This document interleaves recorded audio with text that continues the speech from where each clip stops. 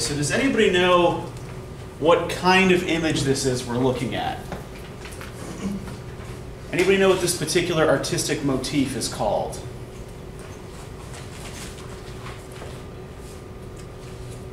What do we have here? Right. You have a skull sitting in between a flower and an hourglass. What would you argue would be the purpose of this? What is it? What is this picture trying to convey? The afterlife. Why would you say afterlife? Because I guess while you're living, um, I guess that's what the flower was just And then like Uh-huh. when I learned that like a set like the the thing would be it's like only a certain amount of time. So I should do what your purpose is, maybe. Okay, yes, yeah, we have um, a representation of life on one side, time on the other, and death in the middle. Good. So we call this kind of image a memento mori.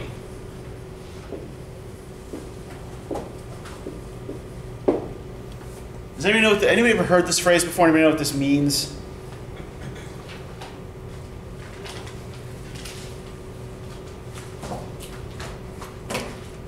I will take your silence to mean no. All right. Well, let's try and unpack it then. What's a memento? Something to save like a memory of a certain time, you enjoyed or something like that. Yeah, you, you, you, you go you go to the beach. You get a shell or Yeah, you- somebody's funeral, you get those little cards or something, you know. Something Yeah. wa- Wow, that went dark fast. Yeah, I'm sorry, like From the beach to funeral. Yeah. All right. Yeah.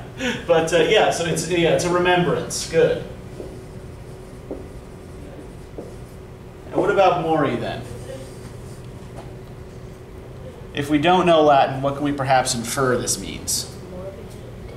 Yeah, similar, you know, morbid, mortician, right? Mortal, yeah, all of these, yeah, come from the same Latin roots, mors, which means death. So a memento mori is a remembrance of death.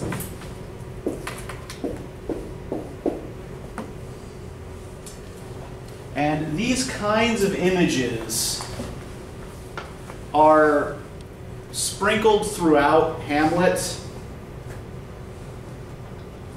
But there's one in particular that I want to focus on um, to start with. Um, so I'm going to show you a brief clip from the graveyard scene. This is filmed in the late 60s. Um, we have here Patrick Stewart again with hair as Horatio and Ian Richardson as Hamlet. Right. Remember I said last time that no production of Hamlet that has ever been filmed since the birth of Patrick Stewart can be without Patrick Stewart.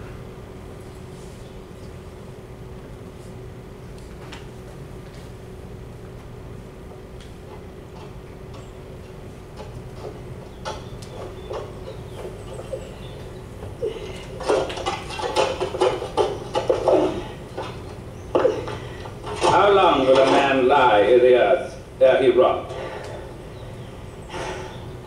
In faith, if he be not rotten before he die, as we have many pocky courses nowadays as will scarce hold the lying in. Oh, last you eight year or nine year. A tenner will last you nine year. Why he more than another? Why, sir, his hide is so tanned with his trade will keep out water a great while. And your water is a sore decayer of your wholesome dead body.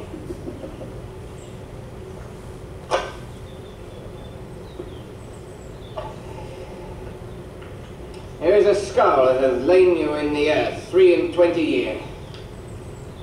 Whose was it? A wholesome mad fellow he was. Whose do you think it was? Nay, I know not. pestilence on him for a mad rogue. Poured a flagon of Rhenish on my head once. This same skull, sir. Yorick skull. The King's Chester this and that. Let me see. Alas, poor Yorick. I knew him, Horatio. A fellow of infinite jest, of most excellent fancy. He hath borne me on his back a thousand times, and now, how abhorred in my imagination it is. My gorge rises at it. Here, hunger's lips, but I have kissed, I know not how oft. Where be your jibes now? Your gambols? Your songs? Your flashes of merriment that were wont to set the table on a roar? Not one now to mock your own grin, but quite chapel Now, get thee to my lady's chamber, and tell her let her paint an inch thick. To this favor she must come. Make her laugh at that. And prithee, Horatio, tell me one thing. What's that, my lord? Dost thou think Alexander looked of this fashion of the earth, Even so, and smelt so? Even so, my lord. To what base usage we may return, Horatio. Why may not imagination trace the noble dust of Alexander till he find it stopping a bunghole? Consider too curiously, to consider so, oh, faith, not a jot, but to follow him thither with modesty enough and likelihood to lead it, as thus. Alexander died, Alexander was buried. Alexander returneth to dust, the dust is earth. Of earth we make loam. And why of that loam whereto he was converted? Might they not stop a beer barrel? Imperious Caesar, dead and turned to clay, might stop a hole to keep the wind away. Oh, that that earth which held the world in awe might patch a wall to expel winter's flaw.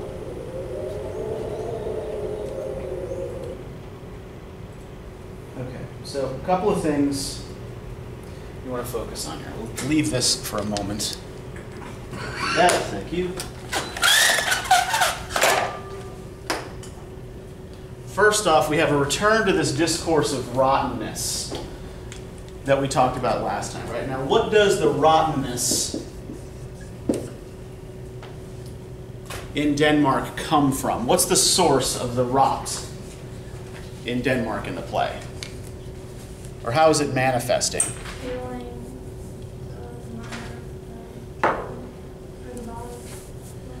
Yeah, we've had the murder of the previous king, right?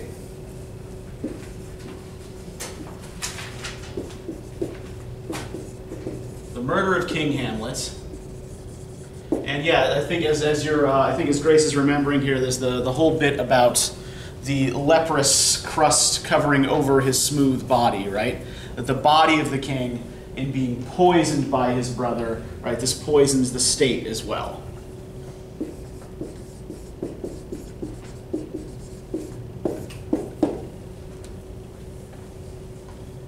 But there's more to it than this. And this is part of what the conversation with the gravedigger reveals, right? Is the question that Hamlet asks him, right?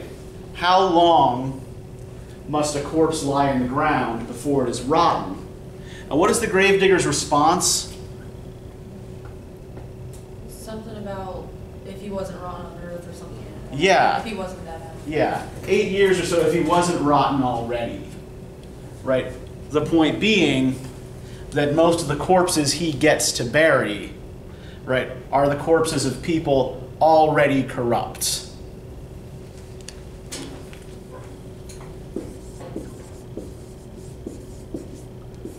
So if we go back to a slightly earlier part of this scene, where Hamlet first comes upon the gravedigger. If you look on page 1173, can I get a couple of volunteers here? Can I get a Hamlet, a Horatio, and a clown?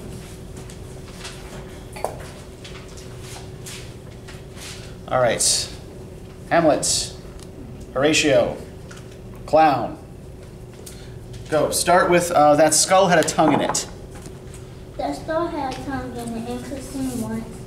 How the knave jaws it to the ground if Troy came jawbone. That did the first murder, the first murder. Um, hmm This might be the plate of a politician, a politician with this as not overreaches, one that would circumvent, Circumvent. I'm sorry, Yep, it's okay. so some, some, some, some. God might it not. Good might, my lord. Or a cour- courtier which could say, Good morrow, sweet lord, how dost thou, sweet lord? This might be my lord such a one, that praise my lord such a one horse. When a meant to bed it might it not. Aye, my lord. Why in so and now my name's one cap chapness and law about the master with a section babe. His fine revolution and and we had the trick to see. Did the bone cough no more the breathing but to pay a lodgings with them? My aid to think on aunt. a pickaxe and a spade, a spade for a shrouding shoe. Oh, a, a pit of clay for to be made for such, I guess. Okay, throw up another skull. You don't have one? All right, thank you. Hamlet. There's another. Why may not that be the story of a lawyer? Where be his quiddities now, his quillage, his cases, his tenors, and his tricks? Why does he suffer this mad life now to knock him about the storms? With, uh, with a dice shovel and will not tell him of his action or battery. Hum. This fellow might be in time a great buyer of name, with his stat- his statuses, his recognizes, his fin- his findings, his double functions, his recoveries. Is this the find of his finds and the recoveries of his recoveries? To have his find paid for of fine dirt, will his fortune fault him no more of his purchase in double one two, than the length and the breadth of a pair of indentures? The very conveyances of his name will start his life and this box, and must thy inheritor himself have no more heart. Not a John more, my lord. It's not parchment made of sheepskins. Aye, my lord. And no cow skin, too. They are sheep and cows with seek out assurance inside. All right, thank you, all three of you. Well done. Okay, so we've got this rustic fellow standing in a grave digging up bones, right? And Hamlet is looking at the bones as they're getting tossed up and assigning to them identities, right? Imaginary identities. He doesn't know who these people are by and large. Um, and what do we notice about these identities that he's assigning to these little bits that used to be people? Got a politician, a courtier, a lady, a lawyer, and a landowner. What do these have in common? They're not people, I guess. Okay, they're not poor people. Yeah, we're, we're talking yeah about high status people by and large.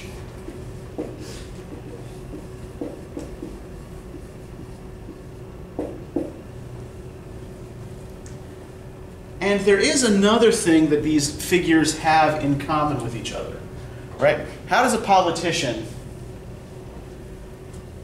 get people to vote for him?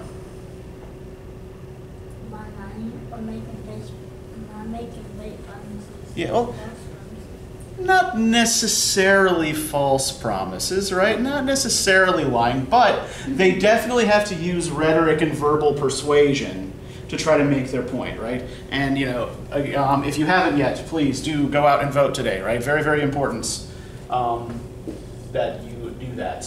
Don't get cynical. Right? I'm cynical enough for all of us. Um, right. So yeah, a politician uses rhetoric to try to get people to see things his way, to try to get people to give him their voices, their votes. Right. And what about the courtier he mentions? who could say, Good morrow, sweet lord, how dost thou, sweet lord? This might be my lord such a one that praised my lord such a one's horse when he meant to beg it, might it not? What does a courtier use language to do? Right. To beg, and how they beg through doing what to their hearer? Oh, that's such a wonderful horse. Would that I had a horse like this. Good morrow, sweet lord, how dost thou, sweet lord? Yeah, they're flatterers, right? Yeah.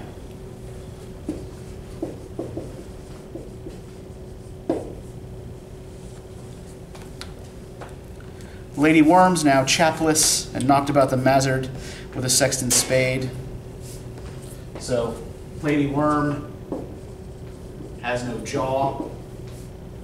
The lawyer and the landowner rely on contracts, right? This is why he's talking about the sheepskins and the calfskins. Contracts and verbal arguments. So, how do most of these figures attain high status?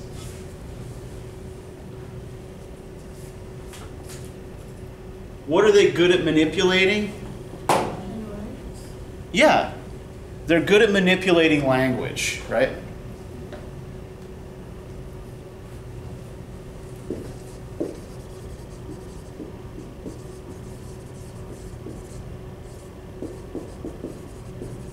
They use this to gain power and wealth. But we know from the beginning of this bit, right, that skull had a tongue in it and can, could sing once. Right. The bones speak no more. And what has gone with their powers of speech? What's gone away with those? Yeah. They can no longer manipulate language. And as such, does it matter at all anymore what they were in life? Everyone is reduced to the same end.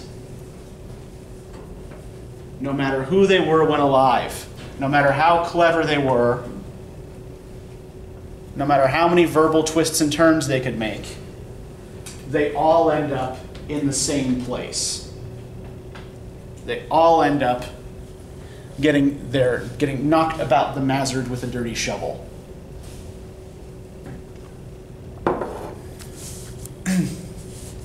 right when the uh, when Hamlet says, "Here's fine revolution for you," right? The word revolution, right? What do we usually use this to mean? Yeah, and what, what, what kind of war is a revolution? Pardon? Like the American Revolution. Yeah. Yeah, that would be an, right, an example of a revolution, right? What does a revolution usually aim to do? Yeah, you're trying to overthrow the existing power structure, right? You're going against the existing power structure, kicking it over, right? Literally, what the world means, though, is to turn, to, right, to turn like a wheel. So what he's talking about in these fine revolutions, on the one hand, the literal turning over the bones in the grave, but he's also referring to another one of these uh, common allegorical images.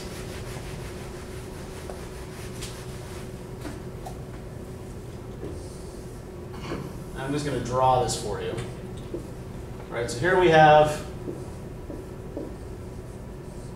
woman with a crown turning a wheel. At the top of the wheel, right, we have a happy king.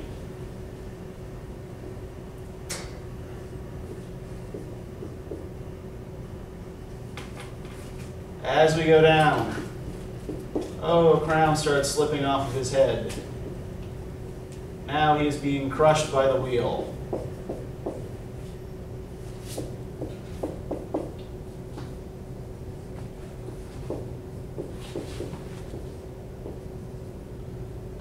Anybody know what we call this? This is the Wheel of Fortune. Oh. Right. Fortune is the woman turning the wheel. And the king, who has his crown at the top, loses it at the bottom, uh, sort of represents the idea that but for a single turn of the Wheel of Fortune, right, we could all end up either kings or beggars. Right. Anyone's state can be increased or reduced by a simple twist of fate. So,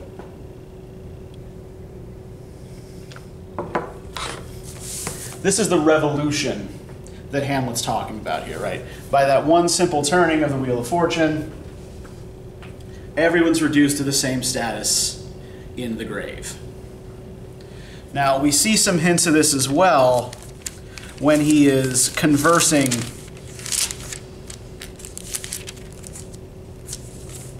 with the king about Polonius, right? If we look on page 1154, um, can I get a king and a Hamlet? 1154.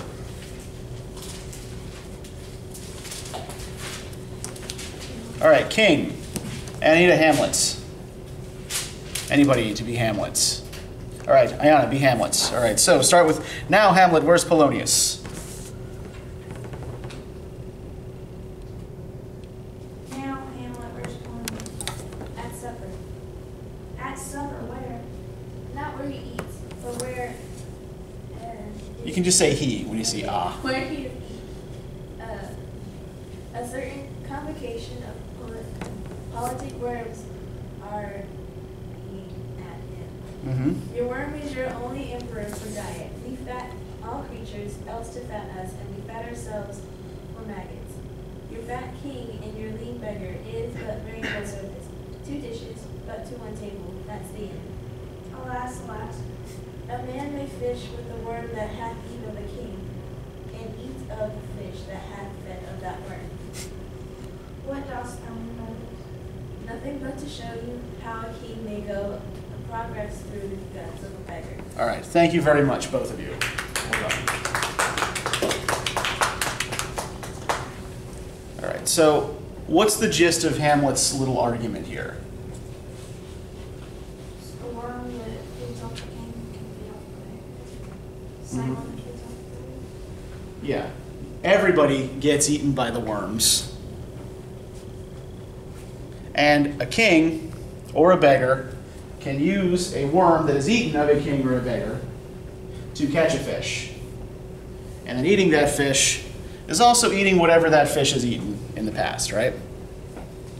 So a worm can go a progress through the guts of either a king or a beggar, right? A worm that has eat of a king, that has eaten a king, can be digested by a beggar. So all of this worldly status, all of the king's ill-gotten gains, ultimately mean nothing. Everything is ephemeral. Everything dies. Everything passes away. And once it's passed away, it's all the same. Now, this actually relates to another common allegorical image. Show an example. This one is called the Dance of Death.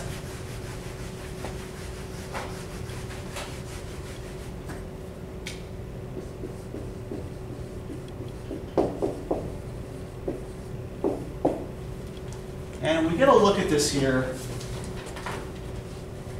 What do we see? What's going on here?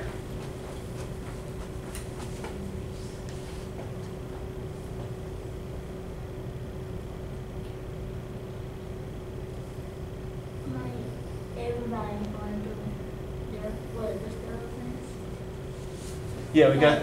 Oh, go, go ahead, sorry. Oh, everybody fighting dancing with the skeleton. Like, was is no like it's in order from like the highest class level to the lowest mm-hmm. class level. But it's no difference. It's Yeah. Yeah, we've got here, we've got like three grinning skeletons, right? And who are they leading? Who's this? Who's first in line here? What does that um, conical headgear tell us about who this is? Eh, Think religious hierarchy rather than um, monarchy. Pope? Yeah, exactly. This is the Pope. Oh. We got the Pope, and following the Pope, we can tell by the rounder crown and the, the worldly orb that he holds. That's a king, yep. And following the king, the wide brimmed hat indicates a merchant. So, whoever you are, however rich you were, however powerful you were, all come to the same end. Right? These kinds of images, these kinds of allegories were all over popular culture in Shakespeare's time. Right? These reminders of mortality and these ideas of death as a kind of leveling force, right? That reduces social class difference. I mean, hell, you know, you had, uh, you know, in the, you know, during the years of the Black Plague, right? People just being buried in common graves, you know, wherever happened to be convenient to put them, whoever they were. So,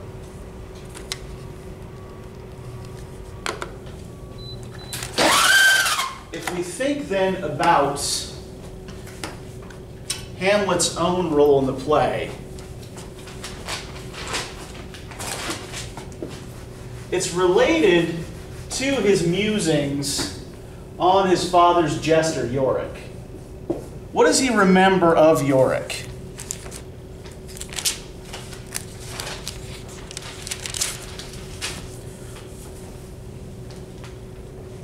What are his memories of Yorick like? Right, this skull that he's picked up out of the ground, he's meditating on. What does this skull make him remember?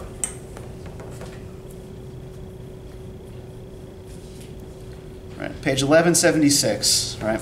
Alas, poor Yorick. I knew him, Horatio, a fellow of infinite jest, of most excellent fancy. He hath bore me on his back a thousand times, and now how abhorred in my imagination it is. My gorge rises at it. Here hung those lips that I have kissed I know not how oft. Where be your jibes now, your gambols, your songs, your flashes of merriment that were wont to set the table on a roar? Not one now to mock your own grinning? Quite chapfallen? Now get you to my lady's chamber, and tell her, let her paint an inch thick, to this favor she must come. Make her laugh at that. Well, what was Yorick's job? To make people laugh. Yeah, to make people laugh. Right? On the one, he's the king's jester, right? So a lot of Hamlet's memories of this guy are tied up in his crazy pranks and the things he would do, right, you know, to set the table on a roar, right, to get people laughing. But the jester had another important function as well. Does anybody know anything about sort of the tradition of the fool and the jester and what the jester was allowed to do that no one else was allowed to do?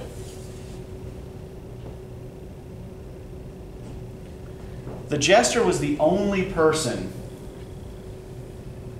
who was permitted to always tell the king the absolute unvarnished truth. The jester was the only person permitted to mock the king.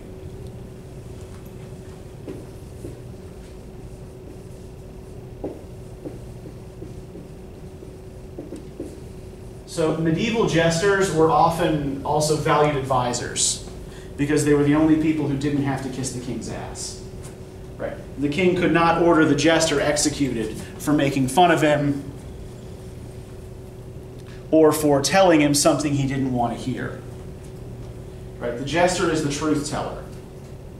And if the jester is dead and does not seem to have been replaced, what does this suggest is missing from Claudius's court?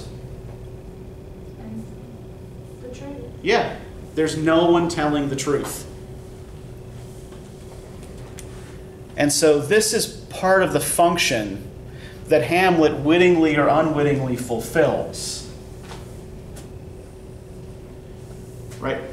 When he is mocking Polonius, when he is mocking Claudius, when he's mocking Rosencrantz and Guildenstern, right? All of these people who have attached themselves to royal power.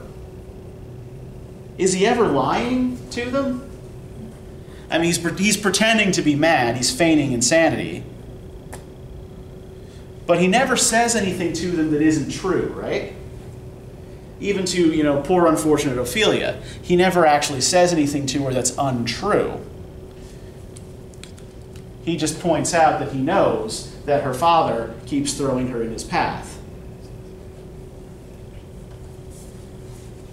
So, what he is doing is pointing out to other members of the court their own flaws, their own rottenness. Right, so he's exposing corruption in the manner of the fool.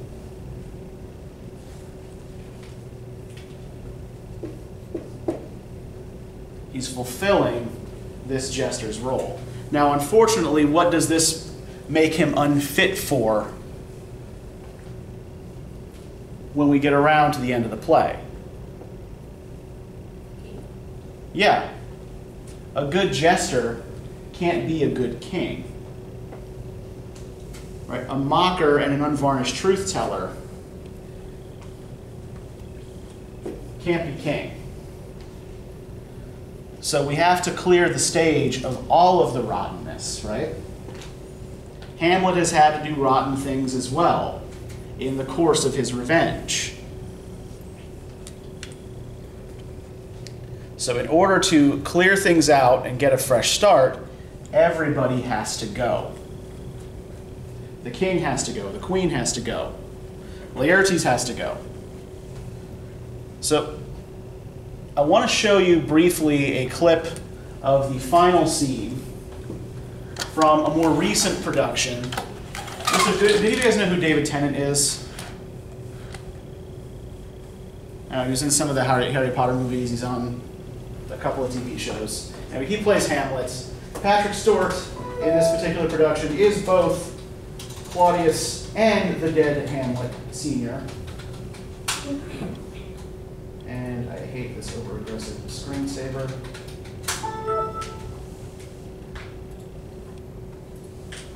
So what I want you to do, right, watch this and I, I want you to see what mistake are they making at the end of this? What are they cutting from the end of this that completely changes the meaning of the play?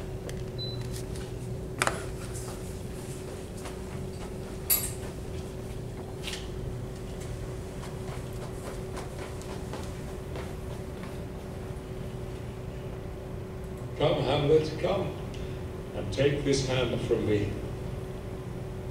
Give me your pardon, sir. I've done you wrong. But pardon it, as you are a gentleman. This presence knows, and you must needs have heard, how I am punished with sore distraction. What I have done that might your nature, honour, and exception roughly awake, I here proclaim was madness.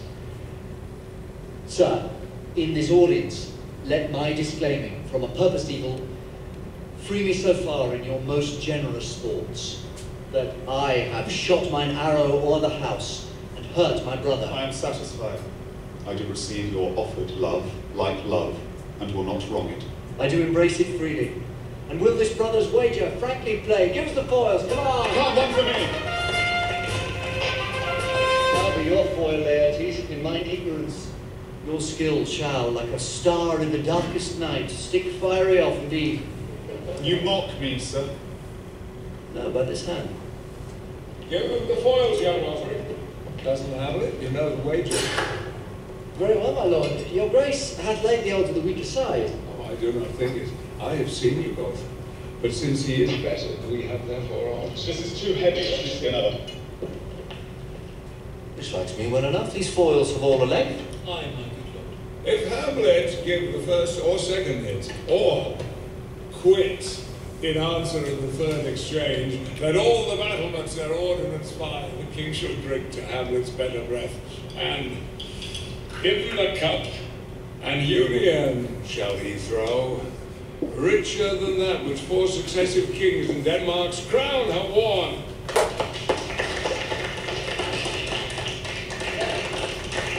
The kettle to the trumpet speak, the trumpet to the cannon hear loud, the cannon to the heavens, the heavens to earth. Now the king drinks to Hamlet, come again.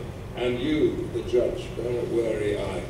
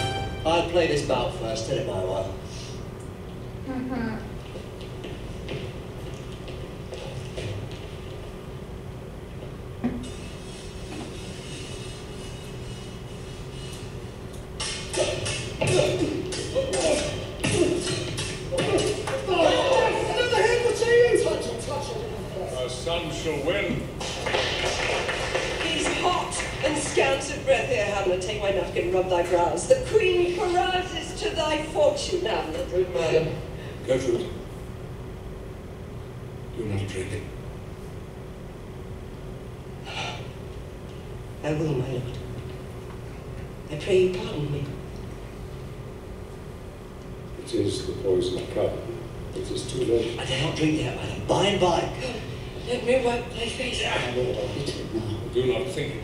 Yet, it is almost against my conscience. Come for the third, the Artesia Battalion. Pray you pass to the less violence. I'm afraid you make a wanton of me. Something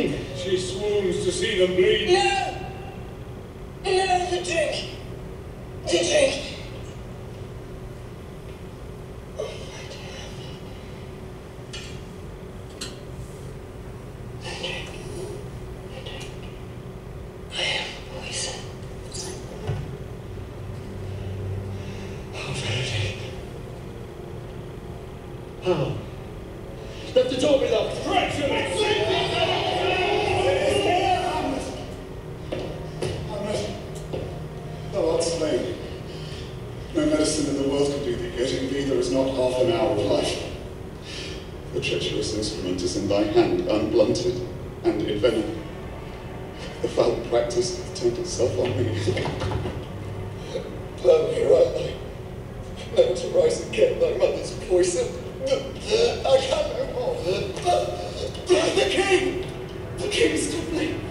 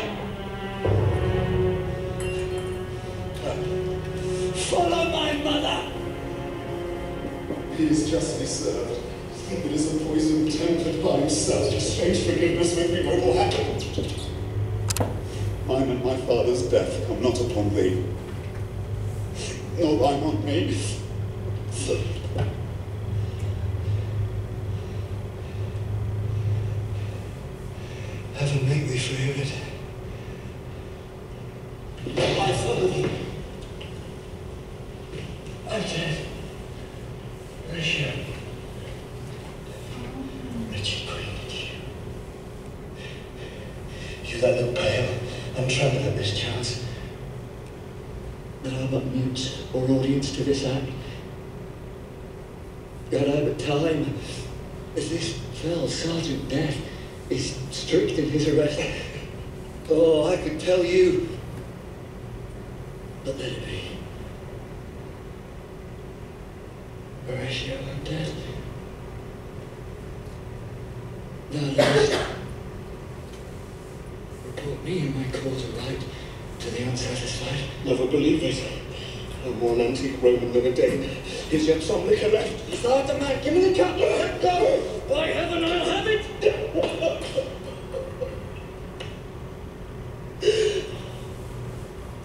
Good Horatio. What a wounded name. Think standing thus, unknown, shall live behind me.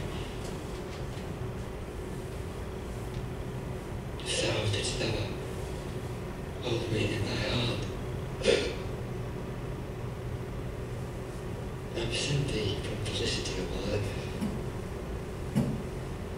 In this harsh word, draw thy breath in pain to tell my story.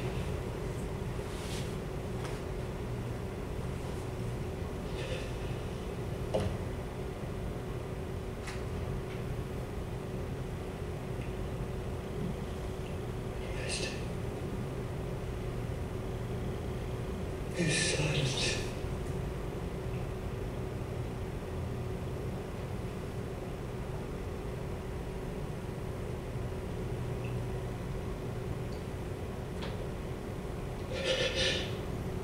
Now cracks a noble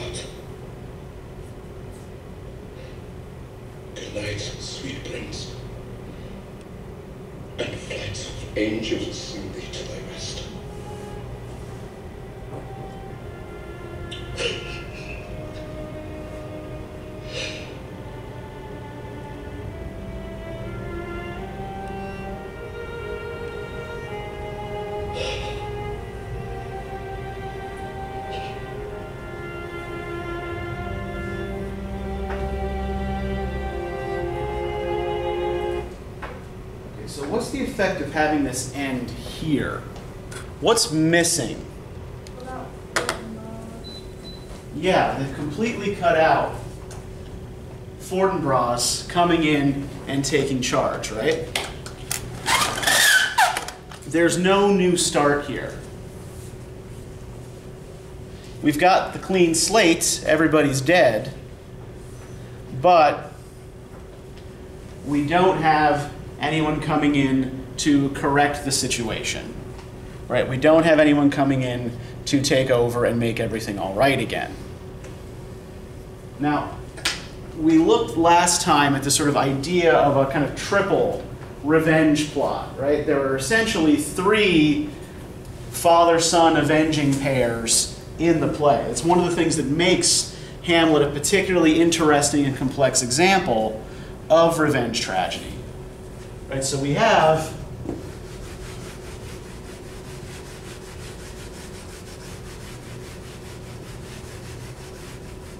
our two Hamlets.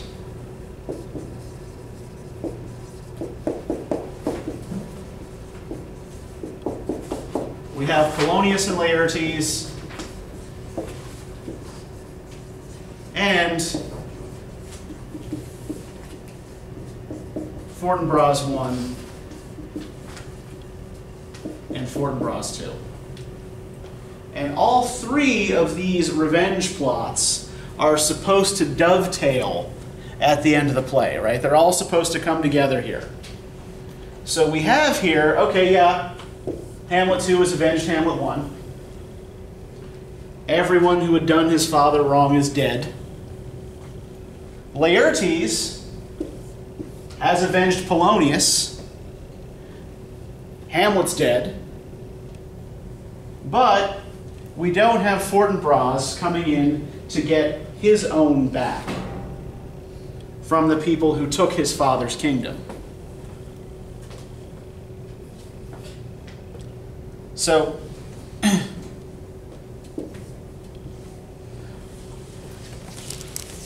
why does this matter from a sense of dramatic closure?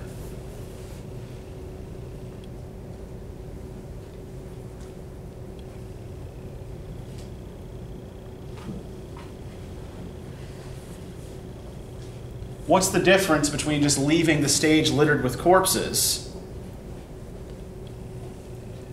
and having someone come in, take charge, and explain everything?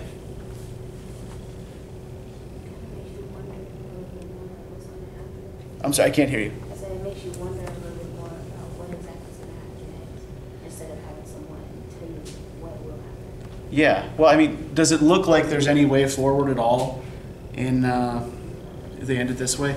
Not really. I mean, who's who's left? Basically, the only major character left on the stage is Horatio, right? So, the idea of rooting out the cancer in the kingdom, right? Remember, this is in large part Hamlet's goal, right? Curing the poison.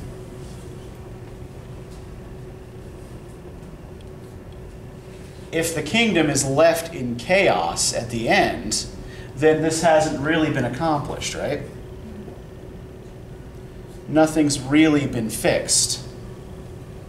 But with Fortinbras coming in to restore order,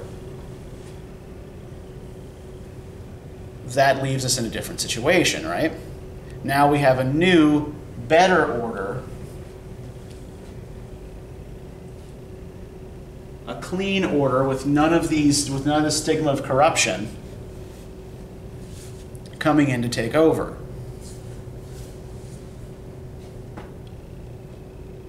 Now, a couple of other things just to note quickly about this scene. Um, now, the king refers to the pearl he drops into the cup as a union, right? Why might that be important? What other connotations does this word union have that might matter in our reading of this play? Union like government? Yeah, okay, yeah, we could be talking about the union of the state of Denmark, right? Good.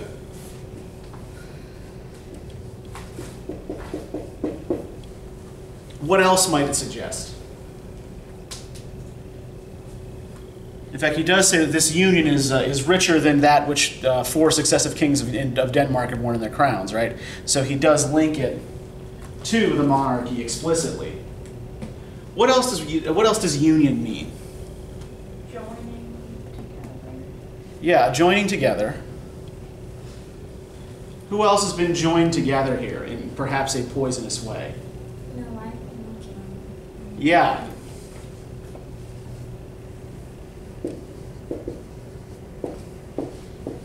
The marriage of the king and queen, right? The king marrying his dead brother's wife. So, yes, we have a poisonous union in the government and a poisonous union in this particular marriage. So, this pearl in the cup, which is intended to kill Hamlet, ends up instead killing the king and queen. Right, so for corrupting the institution of marriage and for corrupting the nation's governments, they're poisoned. By a mixture created by the king himself. Right, this guy is a famous and excellent poisoner. Um, now, there are inklings here in the way this is played as well, right? That Hamlet frequently knows what's going on. For example, when they're showing them the swords, right? What does Laertes say when he's shown his sword? This one, this one's too heavy, right? But then Hamlet responds, "Yeah, Is that wait, yeah, these are all the same. So, why is it you want a different one?" And the swords are supposed to be blunted. Right, so there are hints throughout this that there is treachery afoot. And this is what ruins the perfection of Laertes, aven- you know, avenging his father and sister. Now let's actually talk a little bit about what happens to Ophelia, who seems to be sort of the most, um, the least culpable victim in the play. Do you notice anything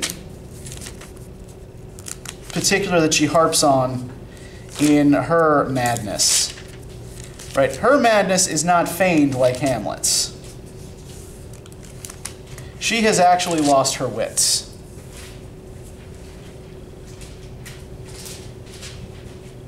What do her little songs seem to focus on?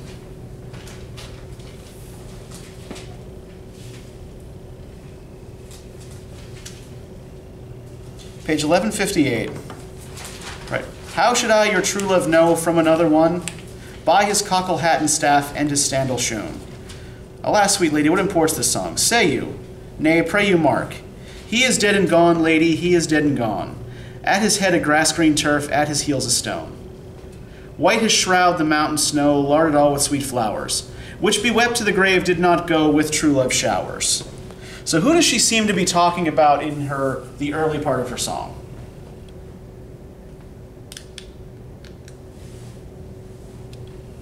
He is dead and gone, lady, he is dead and gone. At his head a grass green turf, at his heels a stone. How should I your true love know from another one?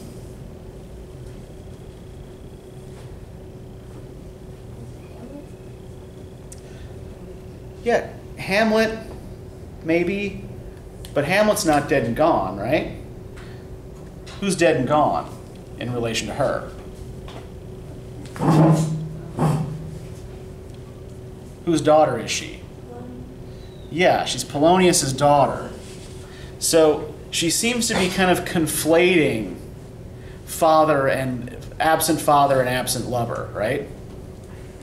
She seems to be sort of mixing Hamlet and Polonius together.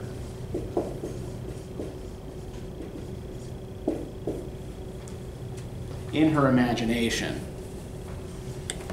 Tomorrow is St. Valentine's Day, all in the morning betime, and I am made at your window to be your Valentine. Then up he rose and donned his clothes and dupped the chamber door. Let in the maid that out a maid never departed more.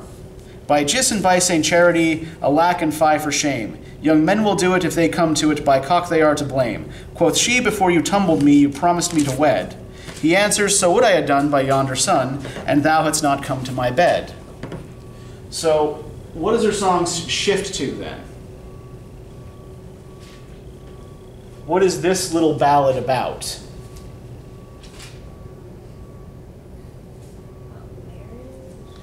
It's not about marriage. What's the situation that this little song sets up?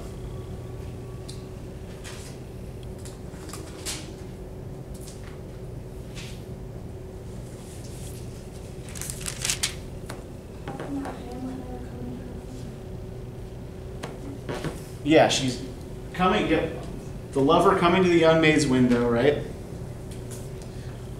And then what happens? Yep. Yep. Quoth she, before you tumbled me, you promised me to wed. He answers, So what I had done by yonder sun, and thou hadst not come to my bed. So essentially, what he's saying is like, well, yes, I would have married you had you not already given me what I wanted. Right? So he takes the maid's virginity and then disappears. So when we think about this in relation to um, what her father has been using to sort of draw Hamlet out, right? How, what was Polonius' theory about Hamlet's madness? Yeah, Polonius believed that Hamlet was so in love with Ophelia that this was why he'd gone nuts, or because he'd been denied access to her person. So, in order to test this theory, what does Polonius then do?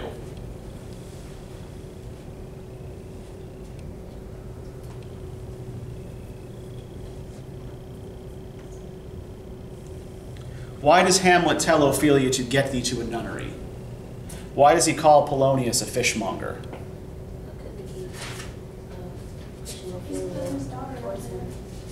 Yeah, it's like, aha, you are trying to, right, Polonius, you are trying to sucker me in with sex, right? You are throwing your daughter in my path, hoping I will do something to prove you right, to prove that you know why I've gone mad. So, being pushed back and forth between her father and Hamlet as this kind of um, sexual football seems to be what breaks her mind, right? And so she's, the two of them together have conspired in destroying her, knowingly or unknowingly. And so this is why her mental illness takes the form that it does. Now, what about,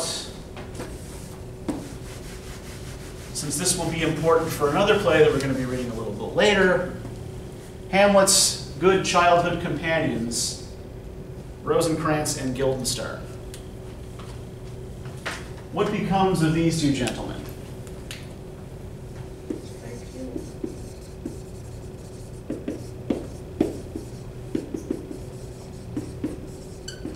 Yes, the ambassador comes to say that Rosencrantz and Guildenstern are dead. The king's command has been carried out. What was supposed to happen when they all got to England together? Right. Rosencrantz and Guildenstern are conveying Hamlet to England with a letter. And what does the letter say?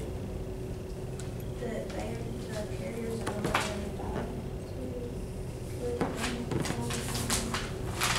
It's not what it originally said.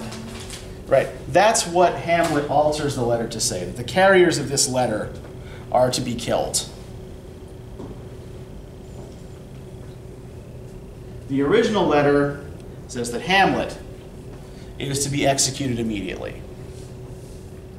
Hamlet is a danger, Hamlet is to be taken care of, Hamlet is to be executed.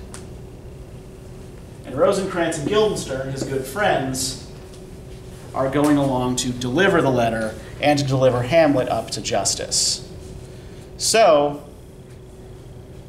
Hamlet, figuring out what's afoot, tricks these two into going to their own deaths.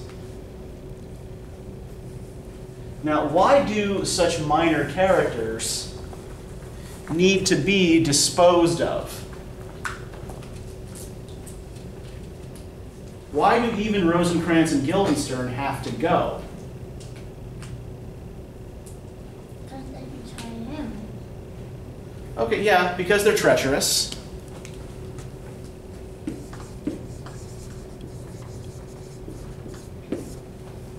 These guys are supposed to be his friends, but they spend the whole time simply doing the king's bidding. But why else do they need do they need to be cleared out?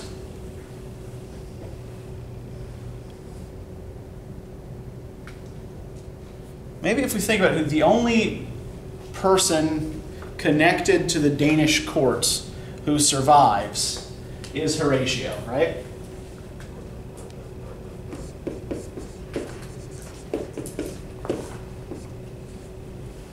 How is Horatio different from other characters in the play?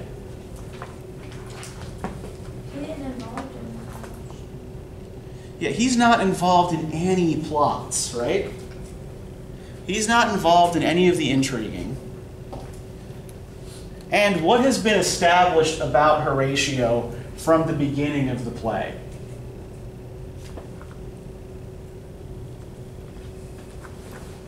Why is Horatio in that first scene with the ghost? Yeah, because he's a skeptical scholar, right, who is not prone to wild fancies. He is someone who is eminently trustworthy, who is not going to bend or stretch the truth. And this is why he's left behind to relate the story, right? To tell the audience, well, you know, if this if Horatio is the last one allowed alive to tell the story, right? We've already established that Horatio is trustworthy. If there's anyone else alive with the same kind of connection to Hamlet, right? Friends of Hamlet's, right? These other friends we've established are not trustworthy and do not have his best interests at heart, and will not, as Hamlet asks Horatio to do, represent his cause aright. So we need to have one character standing at the end of the play who is going to relate the story honestly, truthfully, in an unvarnished manner. Now that everyone else is gone. Everyone else has to go because they're all part of this corrupt infrastructure. Rosencrantz and Guildenstern, insignificant as they are, along with everybody else. And their insignificance is actually going to be really, really important when we look at the Tom Stoppard play uh, in, a, um, in a week or so. Rosencrantz and Guildenstern are dead. Okay, so for next time, we're going to be looking um, at something a bit more modern. Um, we're going to be reading uh, A Doll's House by Henrik Ibsen. And I want you to think um, in particular about one thing as you're reading the play. Right? When this play premiered, it caused riots. Um, they're not Hamlet, uh, A Doll's House. What I want you to think about as you're reading, right, is what about this play would have made people in late 19th century Europe so angry, right? Ibsen received death threats from people over this play. He had to be hustled out of the theater under guard on the night it premiered. So, what about this play was so controversial, right? What about this play would make people so angry? Um, I also have something quickly to return to you.